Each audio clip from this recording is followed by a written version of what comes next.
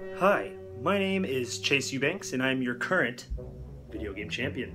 Your former video game champion, I don't want to mention any names, but Caitlin Simpson, let you all, all of you down.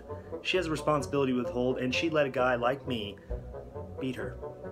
Walk away with the belt. She just dropped it. Didn't even care. She just didn't even try. Or sadly, she did try, and she had me beating her. So, as video game champion, I'm making this short, sweet little video to let everyone know that, Caitlin, you're never gonna get it back.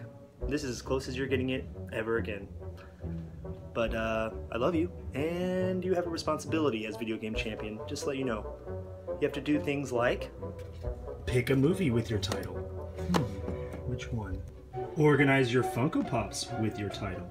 Oh, there it is. Wash dishes with your title. Don't forget, take out the trash with your title. Check on your dog with the title.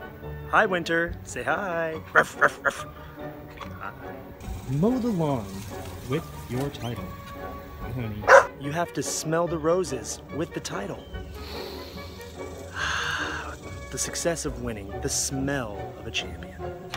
Do the laundry with your title.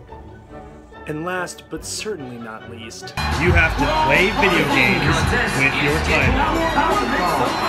Making his way to the ring.